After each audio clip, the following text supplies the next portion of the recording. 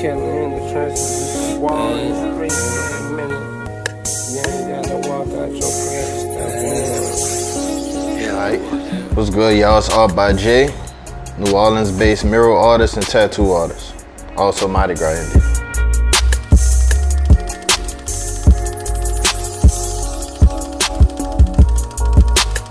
I've been an artist since a kid. I've been into drawing since a kid, painting. I started apprenticing tattooing at 12, and uh, I've, I've, been into graffiti, uh, mural art, just everything art based all my life basically. That's all I know. So everyone always asks me about the grenade. Um, first of all, I use the camo colors to represent New Orleans um, because in our own way, we all soldiers. We have our battles we face and um, in the midst of it, we know how to have a good time. You know what I'm saying? We can turn the negative into a positive. So that's the whole definition of the camo part and the different colors, the festive camo. When it comes down to the grenade, um, a grenade is powerful.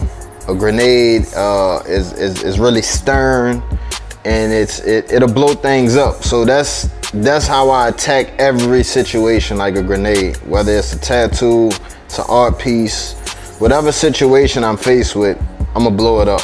You know what I'm saying? I'm gonna go my hardest. I'm gonna put in the, the most work I can, the best work, and make things happen. You know what I'm saying? And, and, and make sure that it's, it's solid and that it's firm. Having my own New Era hat with politics is definitely a dream come true. Um, I, I love politics and the brand and what they stand for. Um, and to have my staple, my, my, my signature, everybody know me by this on the New Era hat is definitely a dream come true. Next it'll be a sneaker.